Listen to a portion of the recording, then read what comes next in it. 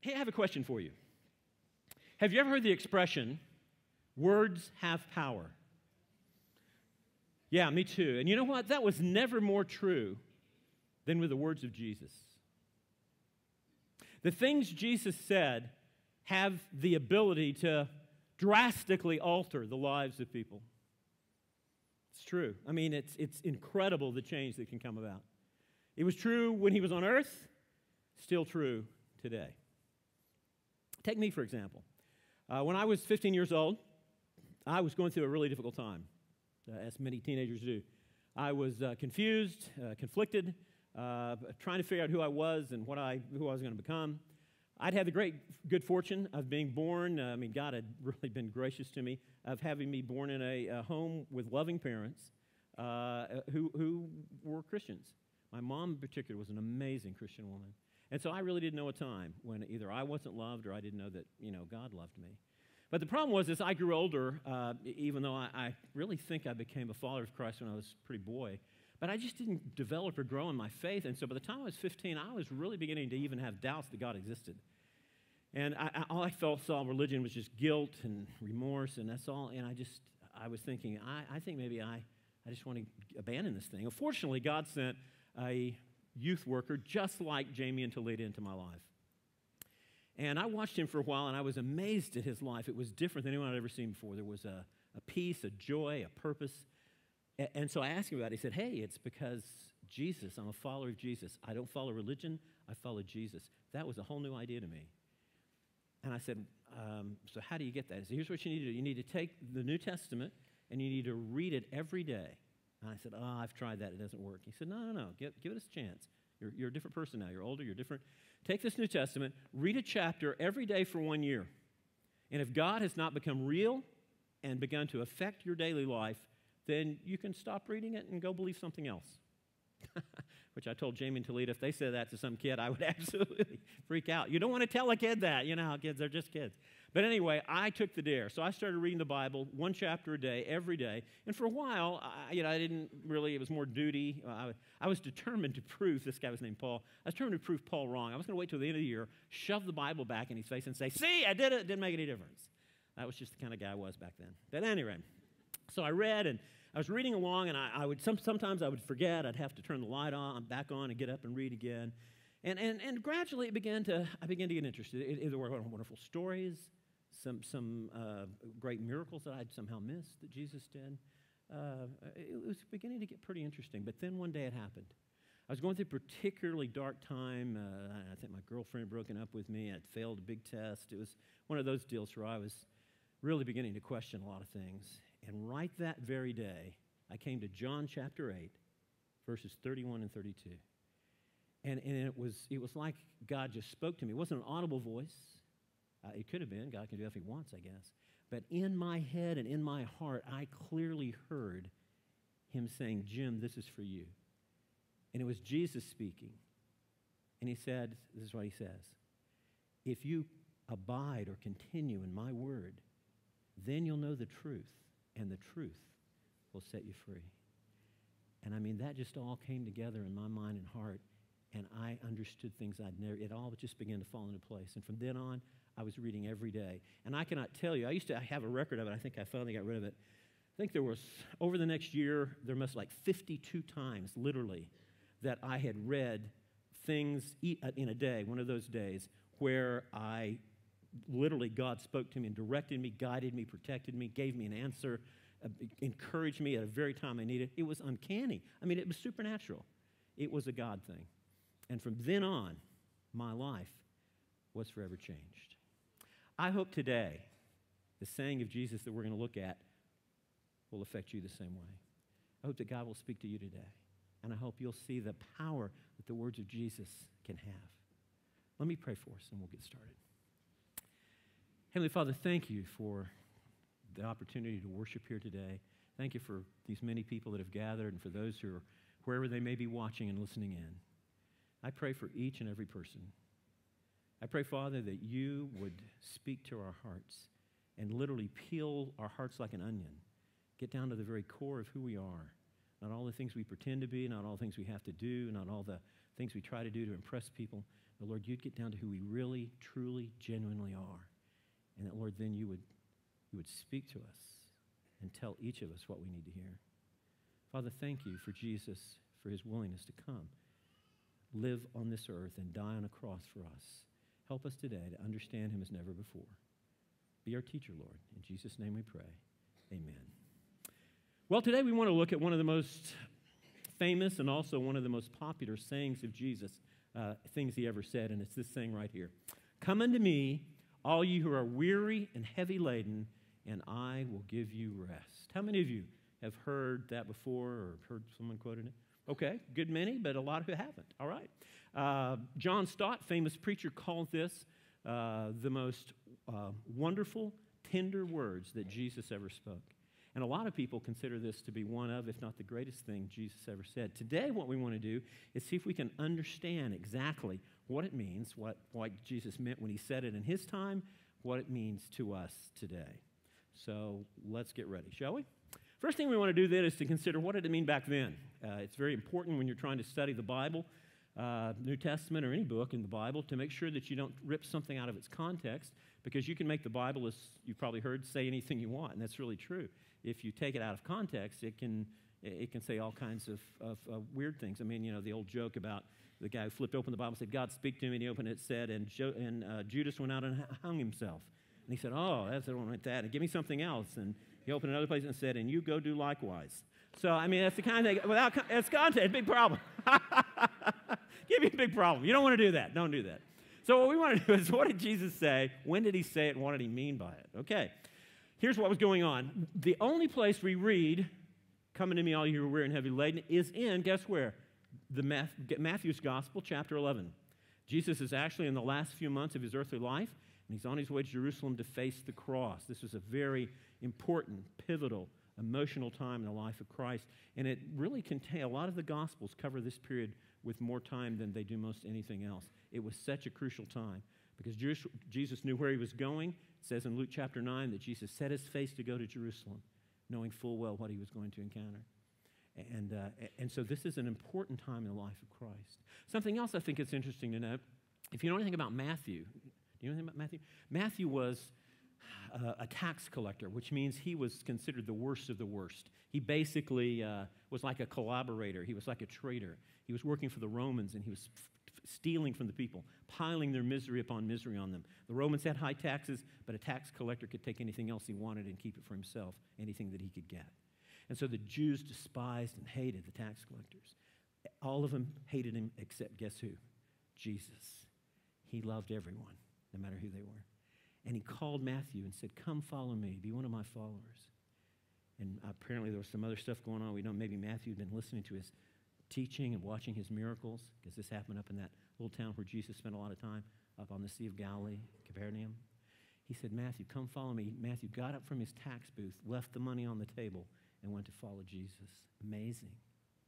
As a result of that, I think it's fascinating that Matthew is the only gospel writer who includes this.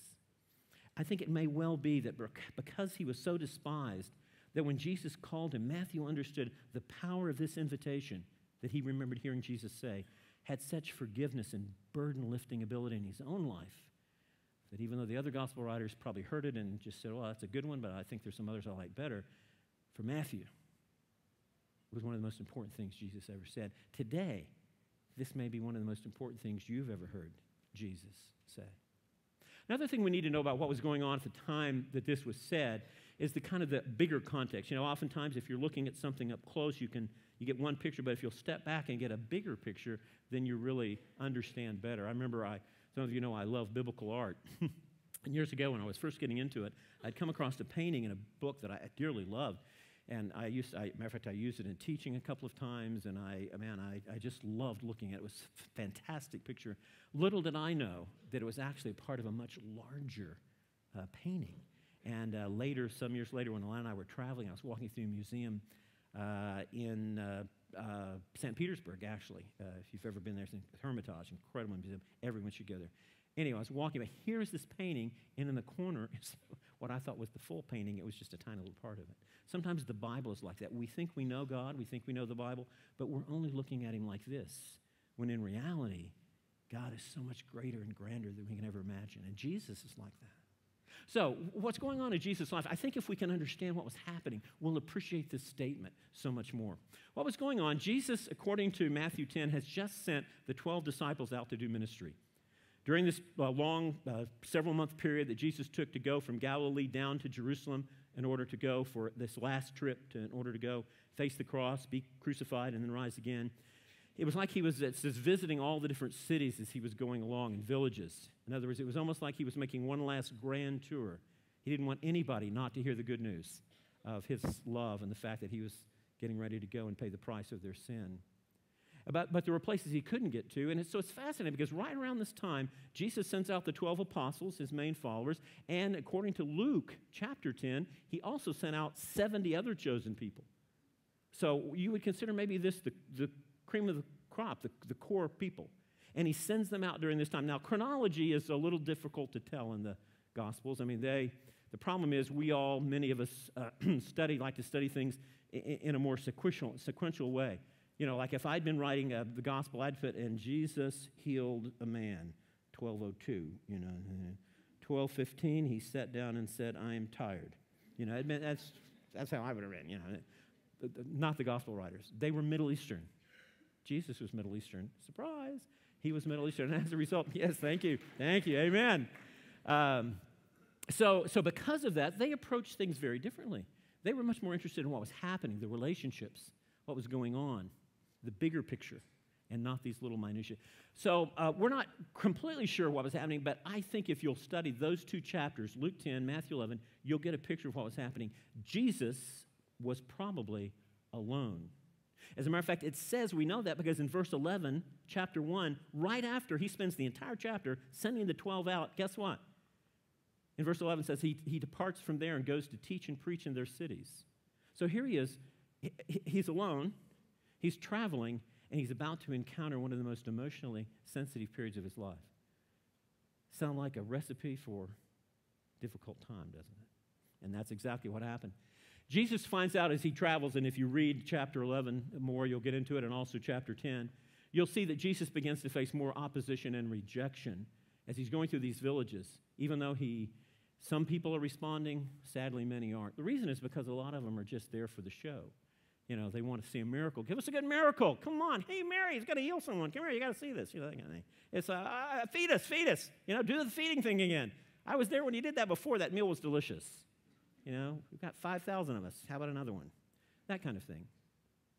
They were not really seeking him, they were just seeking what he could do for them. And so, as a result, when he stopped doing a lot of those things, and you'll notice that the miracle, uh, outward miracle, large miracle ministry of Jesus peaks and then begins to fall off because as he begins to talk about the deeper, more important things of his coming, the people begin to, to, to not follow him as much. Uh, Jesus' Jesus' three year ministry can be broken out as a, a year of, uh, of obscurity, year one. Year two, year of popularity, lots of miracles, big miracles. Year three, year of rejection. As he begins to challenge the religious leaders and they begin to challenge him, there's a lot of conflict going on. Jesus is experiencing this right here. As a result, he reveals uh, some things in his heart and mind in verses 25 through 30 that I didn't think we're going to see any place else or rarely in Scripture. Did you know that in all the New Testament, there's only four places that we read the words of Jesus praying? Did you know that? Well, there's a lot of places that talks about Jesus praying, but what was he saying? New Testament doesn't tell us. But when Jesus was at the tomb of Lazarus, his dear friend who had died, and his dear friends Mary and Martha were there weeping their hearts out, Jesus prayed, Father, and, and he prays, Give me, give me the opportunity to to bring Lazarus out of the grave. Uh, he prays when he's in the upper room. Uh, that's probably the longest prayer we have is recorded. Uh, John 17, you should read that. Beautiful prayer.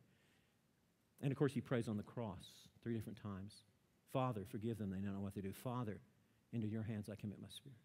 And then the fourth time, right here. How significant. So, what I want you to see is this. And again, I'm trying not to wear you out on this preparation, but it's like anything else. If you, if you see something and you think you appreciate it, if you step back and see the entire masterpiece, then it really blows you away. And you see it in its full context. That's what I want you to see, what Jesus is about to say in the context of what he's going through right now. So let's move on. Here's what he has to say Matthew chapter 11, we'll begin at verse 25. At that time, meaning uh, right after he'd had this conflict uh, with uh, these people, uh, Matthew uh, talks about two followers of John who've come to question him. Uh, is he still the one? Um, actually, that probably happened earlier, but I think Matthew puts it here in a thematic way to show this conflict that was going on repeatedly in Christ as he traveled from city to city, village to village. At this very same time that all this was going on, Jesus said, and he begins to pray I praise you, Father, Lord of heaven and earth, that you have hidden these things from the wise and intelligent and have revealed them to infants, these things being the messages that he's been giving about, about salvation, about him being the one and only Savior. Verse 26 Yes, Father, for this way was well pleasing in your sight. It was pleasing in your sight to do it this way, God. All things have been handed over to me by my Father, and no one knows the Son except the Father, nor does anyone know the Father except the Son, and anyone to whom the Son wills to reveal him. End of prayer. And then Jesus makes this amazing invitation Come unto me, all ye who are weary and heavy laden, and I will give you rest. Take my yoke upon you. Learn from me, for I am gentle and humble in heart, and you will find rest for your souls. For my yoke is easy, and my burden is light. So, like we said, there's two parts to this. There's the prayer, there's the invitation. Let's look at them, see if we can understand both. First, the prayer. What did you notice in this prayer in uh, verses 25 through 27 that particularly jumps out at you as you look at it? What, what do you notice? It's in red. Trying to help you, trying to help you pass the class. You're not helping yourself enough. It's, it's the word Father, isn't it? It's incredible. Three verses uses the word Father five times. It's amazing. This, this the word Father is used as many times in these verses as it is anywhere else in the whole New Testament. Why? Again, because I think it's a reflection of the fact that Jesus is going through as a human being. He was God in human form, he was a God man, but his humanness was real. So when he was in the wilderness, it was a hard time. He struggled, he, he, he, he was weak, he, he fasted. The angels had to come and minister to him. When he was in the garden before the cross, what was he doing? Crying out, Oh God, let this cross pass by. Don't let me have to do this. In his humanness, that's what he was crying. In his, in his deity, he was obedient even to the point of death on a cross. It's amazing. I think we see the same thing here. And I think this has been so overlooked by Bible students so often. I think Jesus is on his way to Jerusalem, and this is not an easy time. And, and the disciples, the 70, may be gone. He's alone. He's traveling. He's going from city to city. He's facing a lot of tough questions. And I think that he realizes that what he needs to do is to talk to his Father in order to be strengthened. The reason I'm making a big point of that is this. I think at a time of great stress, when I think he may have been alone, Jesus turned to his Father in prayer, just as Jesus what? Beckons us to come to his Father, to come to him in a time of need. Jesus says, Come unto me in your time of need. What did he do? He modeled that for us. Do you see that? Do you see how lovely that is? That's absolutely remarkable. And this word father to use is such a special word, a word that was not used in, uh, to talk to God in the, before Jesus came. Never occurred. Some plural uses of it, our father, but the idea that I could call the God of the universe my Abba, which is a, a word which literally means papa or daddy. I mean, imagine that. I mean, it sent shockwaves throughout the religious leaders of, of Jesus' day. I, I, we have a daughter named Lydia. Uh, we have four children, but our daughter Lydia lives out in Seattle with her husband Leland. Always begins her prayers this way, "Daddy God," and then she speaks. I, she's done that for years. I love that. I think that is such a great picture of how God wants us to pray. Uh, it, it's fascinating. I've been reading a book by these two ladies who are experts in Jesus and his Jewishness, and they write Jesus taught his disciples to address God as Father, as he himself spoke to God as my Father in the singular. In Jewish prayer, God was sometimes called our God, but my Father was daring, almost unheard of. Every time Jesus referred to God as my Father, his listeners would have heard it as a bold and shocking statement. Great uh, teacher by the name of Leon Morris, now with the Lord, says Jesus altered forever the way we think of God by praying in this way. Let me ask you a question. How do you view God? When you think of God, how do you picture Him? Now, if you're here today and, and, you're, and you don't believe in God or you're not a follower of Jesus, then you may have no picture, and that's fine. I understand that. But for those of you who claim to be followers of Jesus or claim to be Christians, how do you think of God in your mind? Is he, is, he, is he old? Is he hard of hearing? Is he far off? Is he busy? Is he unapproachable? Is he judgmental? Is he harsh? Is, is, is he keeping tabs? What, who is God to you? And I think one of the most important things that if we're going to understand this invitation that Jesus is going to give us when he finishes this prayer, we're going to have to have a different view of God.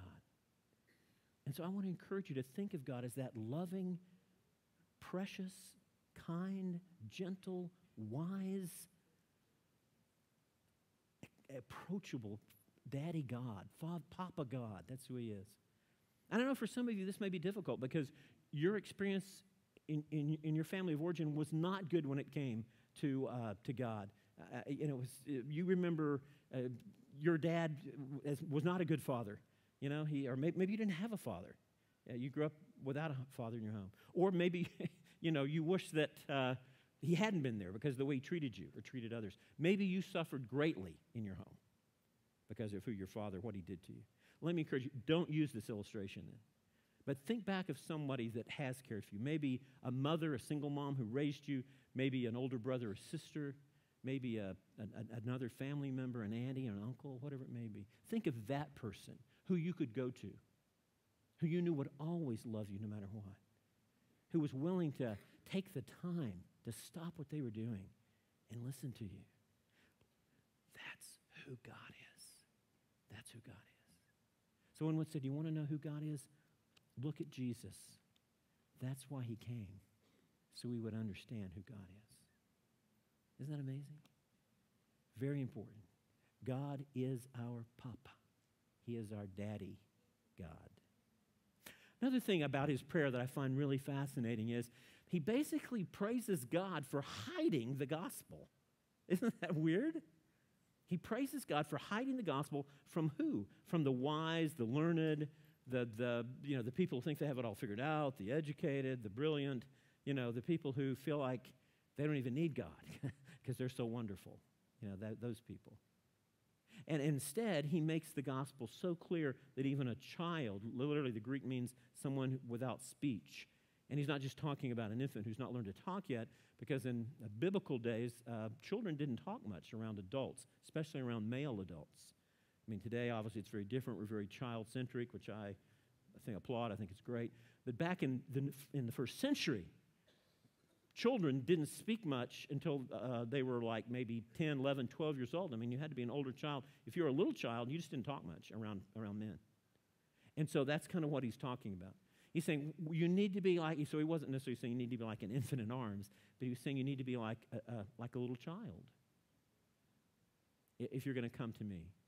Um, this word hiding doesn't really mean he was purposely hiding. It's, a, it's called a Hebrew extreme uh, or exaggerated statement. He's using an exaggerated point, uh, a statement in order to make his point. It, it, it, God was so desired so much to make the gospel available to the people who see themselves as not being important, as not being significant, as not being worthy, that it, it almost appears he's hiding it from those who think they are so worthy. That's the whole point of it. He purposely designed it to be understood by the simple and sincere and to seem baffling to the self wise and self important. I love the fact that he explains this over in Luke 18 by his actions. Remember, remember that he was real busy this day, and the, uh, some of the parents brought their ch- little children to Jesus to bless him. And, and the disciples said, Oh, go away, go away. Jesus is too busy. And what did Jesus say? Permit the children to come to me and do not hinder them, for the kingdom of God belongs to such of these. Isn't that beautiful? And then he turned to the adults and he said, Truly I say to you, whoever does not receive the kingdom of God like a child will not enter it. How does a child receive things? Think about it for a minute. How does a child receive things? Quickly? Openly? Quick to believe, quick, quick, quick, quick to trust, yeah? quick to, quick to feel guilt when they know they've done wrong and they've hit it and you discover it, you know, and they begin to burst out in tears. I'm so sorry, you know. You know what I'm saying? Tender, soft. Isn't that different from so many adults? Wise, strong, capable, self sufficient. Isn't that who we are when we get older? I mean, you don't hear seven year olds saying, Scoot over, Dad, I'm going to drive home. You know, they just they don't do that. Right? I tell you, it's amazing when you start thinking about how God wants us to approach Him. Not as though we have earned it, but as though we could never earn it. You understand? You know, I, I don't give assignments very often, but I'm going to give you an assignment today. I want to encourage you to, later this afternoon, over lunch, after you've had time to, you know, have lunch and you're sitting in the chair or on, at the beach or wherever you may be, stop and ask yourself this question How does a child differ from an adult? And think of all the different ways. I mean, we're just scratching the surface. We're talking about the obvious ones. There's so many more. I would encourage you, give that some thought, and you will know more about this passage than you think you do. Well, last thing, the Father, uh, Jesus says, was pleased to make Jesus the sole source of knowing the Father. Jesus is our one and only mediator. He is our one and only Savior. Notice what he says in verse 27 All things handed over to me. No one can know the Father unless they know me. No one can know me unless they know the Father. And anyone to whom the Son wishes to reveal it. One of the things that Jesus comments on here in this prayer is something that he does more and more as he approaches the end of his life, his earthly life. He talks about the fact that there is no other way to heaven except through him. And I think it's important for us to realize that while we, adult, educated, uh, international people, like to consider the fact that there are probably many ways to heaven and any of them will work, just be sincere and follow your path, Jesus would disagree. Jesus said, I am the way, I am the truth, I am the life. No one, no one goes to heaven unless they believe in me. Now, I'm not saying you have to be in the Christian culture. I'm just saying you have to be a follower of Jesus. Those two are not always the same. But you do have to believe in Jesus as a crucified Savior for your sin who rose again to show that he paid the price. And I have to believe that my going to heaven is entirely based on him and on nothing else. That is the meaning of what Jesus says in this prayer. And I think it's almost as though he's kind of trying to bring himself back to the center after being in this uh, difficult time that he's been in. And this truth is very important. Listen, listen. You may want to reject Jesus, but you can't have God without Jesus. You may want to believe in God uh, and believe in only Jesus and, and not follow God. You can't do it. They are one and the same. That's essentially what he was saying. So he prays this prayer that is profound and is amazing and, and I think helped him. And then coming out of this, what has to be a time of some stress emotionally, the some struggling to put it all back together, what does Jesus do? He reveals his head in the prayer. Now he's going to reveal his heart. Look what he says the invitation. Read this with me. Come to me, all you who are weary and heavy laden, and I will give you rest.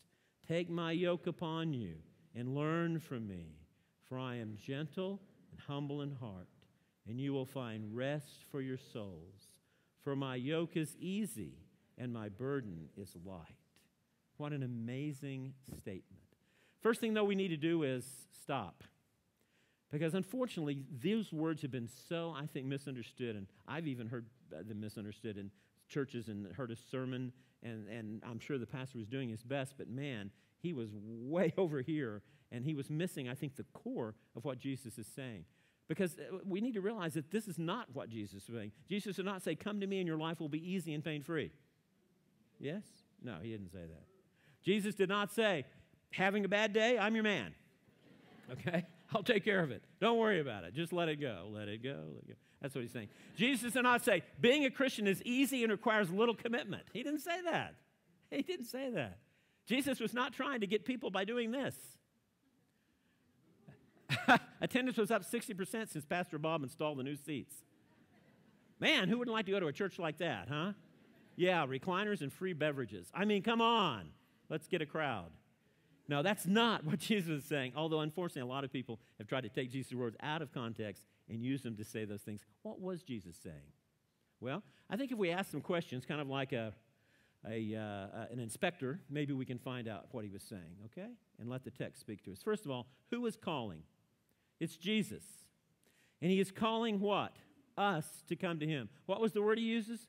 Come unto me all. Yeah. Not some, not those of you who've earned it, not those of you who've given enough money, not those of you who look like me, not those of you who look like North Americans. No, that was not it at all. He said, Come unto me, all ye. Okay? Think about that. The one who created us is what? He's calling us home. He's not calling us someplace else.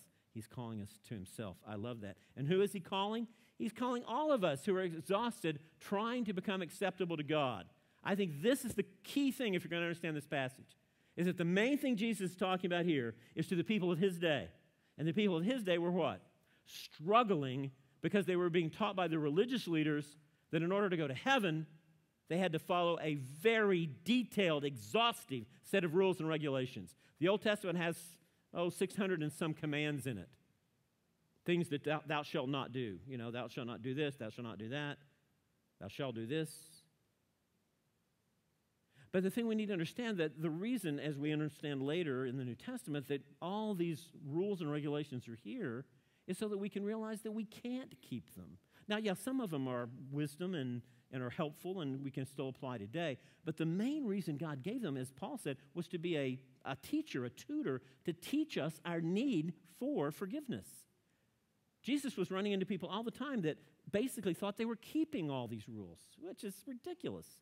And, and, and Jesus would even ask them, you know, uh, they would ask, well, what must I do to go to heaven? Jesus said, love Lord your God with all your heart, soul, mind, love your neighbor as yourself. And people would say, oh, I've done that every, uh, every day which is outrageous. Of course you have it. And Jesus would often explain in the Sermon on the Mount, that's what he was explaining. For example, uh, he would say, um, the Old Testament says, Thou shalt not uh, uh, commit adultery.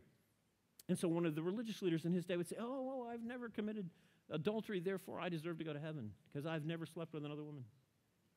And Jesus said, No, no, no, you don't understand.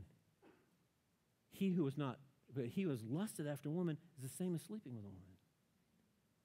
And you go, well, that leaves me out then. Thou shalt not kill. I've never murdered, taken alive. Jesus said, what that means is, even if you get angry at someone, it's like you're murdering them in your mind. And who hadn't done that, you know? Wish I had. You know what I'm saying? The standard of God is so high. The whole point of the Old Testament is it's impossible to reach. That's why Paul said, All have sinned and come short of the holy standard of God. The only answer is for us to have someone who can remove our guilt because we never can do that.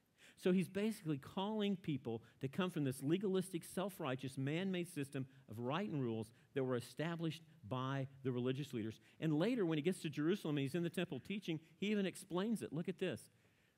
He said, Hey, these uh, people uh, uh, who are the religious leaders, if they if they're seating in the chair of Moses, if they tell you something that Moses said, you should do it. But if they tell you all this other garbage, forget it. Because they tie up heavy burdens and lay them onto men's shoulders, and, but they themselves are unwilling to, to even do them at all. And so here were the people of Jesus' days just being piled on with these, you know, you can't do this, you can't do that, you, can, you must follow this exactly, you must say this exactly right. You, uh, uh, it was just more and more and more and more. Now, how would that apply to us today? Let, let's take it out of the first century and bring it to us today. How would that apply to us today? How, how are we heavy laden? Uh, could it be that by people who are just trying so hard to make up for the things they've done wrong? A lot of people believe that at the end of time, when they stand before God, He's going to have a big tote board. And on one side is going to be all the good things you've done, on the other side is going to be all the bad things you've done. And basically, He's going to add them all up, and if the good outweighs the bad, you're in, come on in. Otherwise, it's down for you. Other people, I think, struggle with this kind of thing because they believe that somehow if they go to the right church, you know, uh, our, our church is good and it's the best one, and you're not so good, and we're going to be there, and you're probably not. And, you know, we use the King James. Yeah, you know, we're going to be there, you know, that kind of thing. Or, I've been to church all my life, you know, I never miss, you know. so is the custodian. Doesn't mean he's necessarily going to, you know what I'm saying? It doesn't mean anything.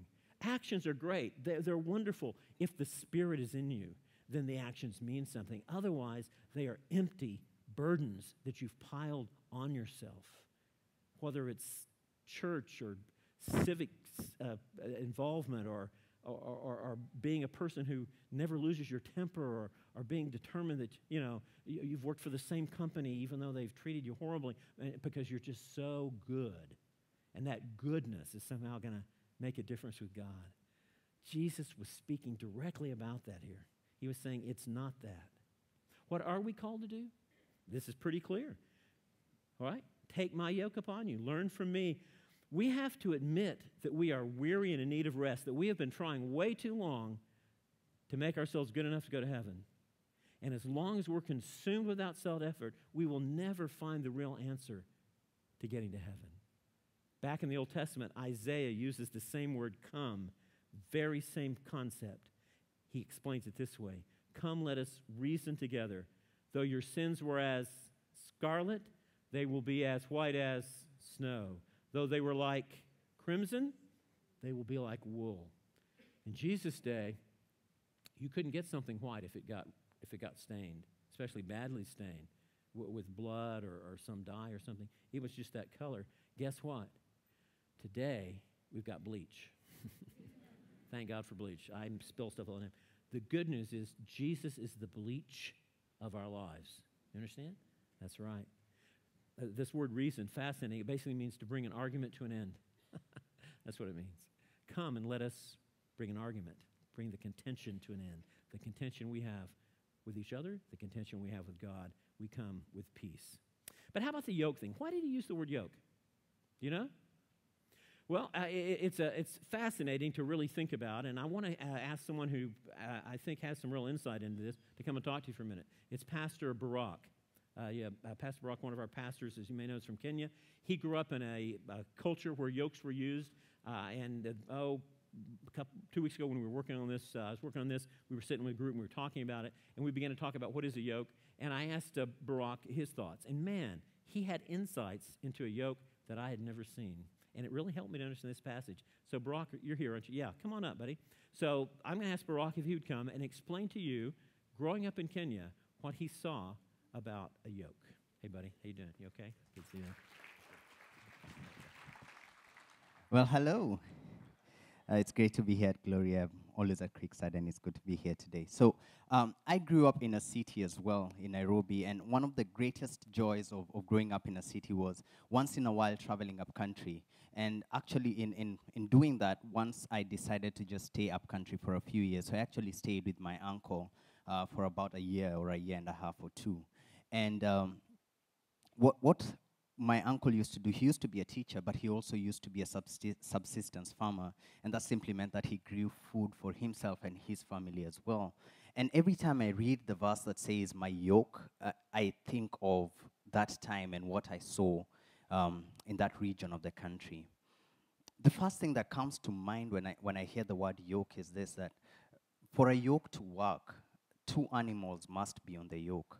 A yoke doesn't work with one cattle, a yoke doesn't work with one donkey, it works with two of them. So, for a yoke to be effective, there must be two animals on it. And, and how it would work is the, the farmer would look for a weak animal and place it in a yoke with a more experienced, stronger animal. You can't put two strong bulls on a yoke because they would both pull in different directions and, and the farmer wouldn't achieve anything. So he would place a stronger animal with a weaker animal and, and over time, the weaker animal would grow, learn, and understand how to work with the yoke because it's being taught by the stronger animal. Another thing that was really, really important was that the farmer would, would use different types of, um, of material to make the yoke easier. No two yokes are similar because all no two animals are similar. So what they would do is some people would make different yokes for different animals. And, and what I remember from back home is that because it's expensive to make a yoke, they would just make one. But what the farmer would do is anytime they were changing animals, they would pad the yoke with cloth so that it would be easier on the animal's neck, so that the animal doesn't struggle and so that the animal doesn't fight. Another thing that is really, really interesting is that a yoke is difficult to put on an animal for the first time because the bull doesn't understand what's happening. And, and it's, it's difficult, it's not the natural state for the animal. And, and so it's, it's something that the, the animal has to be submitted into for it to understand. And, and the reason that comes to mind is because when Jesus says, Take my yoke upon you, what Jesus is actually saying for me, what I see in this passage is that Jesus Christ is inviting me to his yoke, and he's inviting me to be in the yoke with him so that I can learn from him and I can grow with him and become a better Christian. And as I submit to that yoke he's calling me to, I grow and I become better in, in my life and in my walk. But the Amen. The beauty of it is this that the farmer doesn't send an email to the bull. The farmer doesn't sit down with the presentation saying, Well, listen here, this is how the yoke works, okay? I'm going to put it around you, and, and then we, we're going to discuss this. The lesson in the yoke comes from the bull being in the yoke. The lessons in Christianity comes from me being submitted to the yoke of Christ. Amen. Good. Good job, buddy. Good job. See what I mean? Isn't he great? Man, we are so glad to have him on our staff. He's fantastic. He is at Creekside most of the time. He's actually our uh, site shepherd there, we call him. And so that's why you may not see him here very often. Uh, but I think he's going to be actually teaching one of these things coming up in a few weeks, so you'll get to hear him. Uh, but isn't that terrific? I mean, this, this, is, this is absolutely amazing. There is so much here that Jesus was communicating to people who probably understood because they'd seen a yoke every day their whole lives. We, we who haven't seen it don't understand. So one thing I do think that I, that I did see that I think is good is that what does Jesus say? He says, take my yoke what? Upon you. This is one yoke that no one else can put on you. You have to put it on yourself. Very important to remember that. Today, Jesus wants to come and be harnessed with you so he can make such a difference in your life. So, in wrapping up, what will be the result? We'll find what? Rest for our souls. Man, anybody here not need rest? We need rest from the heavy burdens of, of spiritual trying to earn our way. We need rest just from the stresses and pressures of the, the Satan and his attacks on us and the struggle we have in life. I love the fact that what Jesus was really doing here, most people believe, was quoting uh, Jeremiah, who saw in the midst of the suffering and the calamity of Jerusalem falling, the fact that even in the midst of the worst of times, God can still be with you and give you rest. Uh, Jeremiah wrote, This is what the Lord says Stop at the crossroads, look around, ask for the old godly way, walk in it, travel in its path, and you will find rest for your souls. Man, I love that. Absolutely amazing. The rabbi says what? Come to the Torah. The priest says, Come to the sacraments. The imam says, Come to the five pillars. The Hindu sage says, Come achieve Dharma. The Buddhist monk says, Come to the Eightfold Path. The humanist says, Come to yourself. The uh, moralist says, Come do better. The legalist says, Come try harder. Only Jesus says, What? Come to me. And if we do, what will be the result? Today, these things can be true in your life. Jesus will take your guilt away and your shame. Jesus will absolutely free you from this endless trying to be good enough. Measure up. Meet the standard whoever it was that laid all that stuff on you. He will be with you every day as your guide, just like He was mine from the time I was 15 on. I felt that. He will never leave you or forsake you. He will take away your burdens. He will give you soul rest.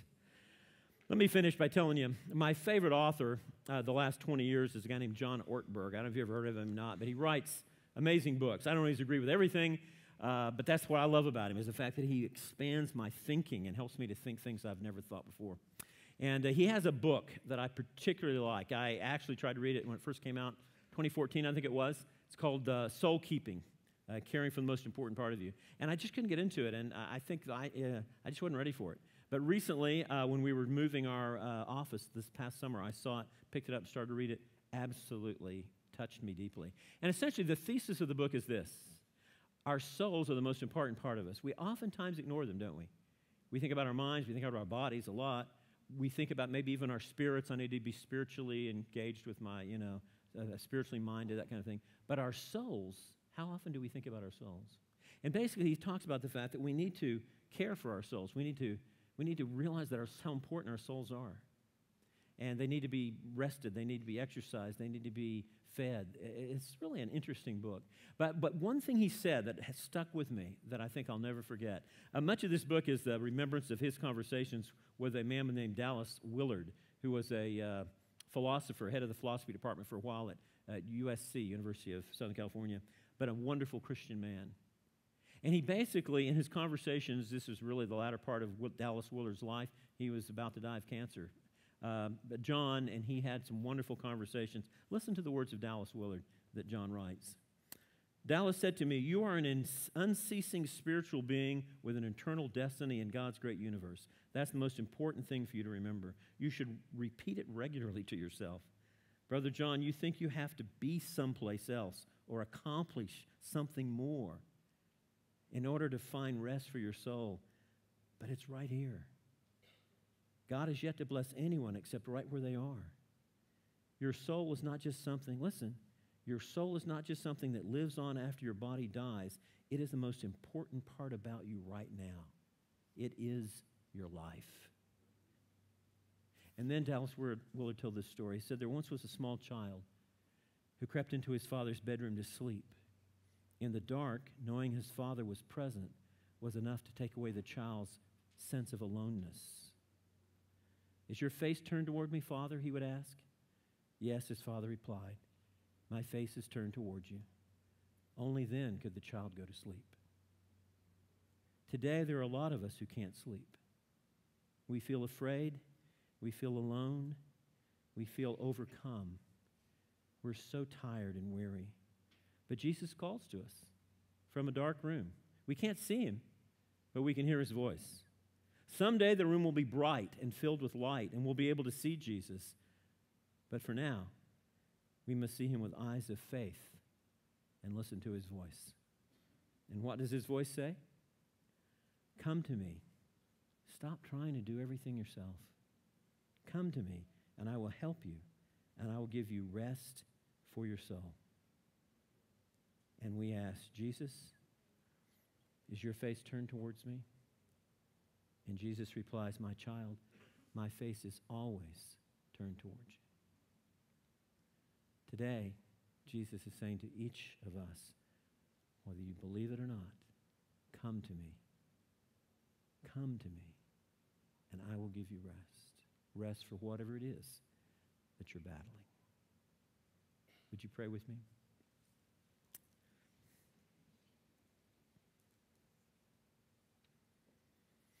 Heavenly Father, we are uh, we're thankful for your love.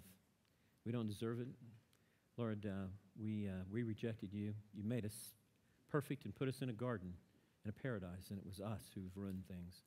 And yet, Lord, you did not leave us in that mess, but you willingly came yourself in the person of a God man, Jesus, who was willing to give himself, his sinless self, for us. Father, thank you for doing that. And Lord, I pray today that you would help us to stop being caught up in all the many other ways of trying to, to find purpose and meaning in life and ultimately go to heaven. And Lord, realize that it's only, only by coming to you. Thank you, Father. We love you. In Jesus' name we pray.